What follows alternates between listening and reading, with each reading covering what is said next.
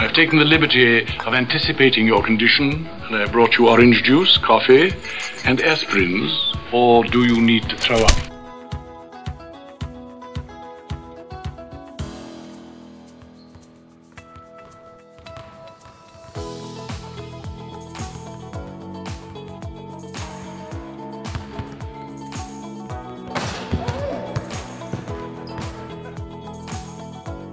I will smash your face into a car windshield and then take your mother, Dorothy Mantooth, out for a nice seafood dinner and never call her again.